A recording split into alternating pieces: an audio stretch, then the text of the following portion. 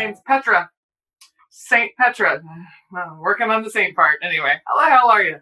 St. Pete is a little backed up at the gate with the whole COVID mess. So he asked me to do a little pre qualifying. Have you ever lied? I don't lie. We're never going to get through this if you're not honest. Okay. Do you remember that time that your boyfriend Tom went to get you a beer and while he was in the kitchen, you kissed his best friend Chad? I love my husband. This is not about current events. Oh, look how that turned out. You took that asshat lover boy who didn't touch you once and then had an affair the minute you got home.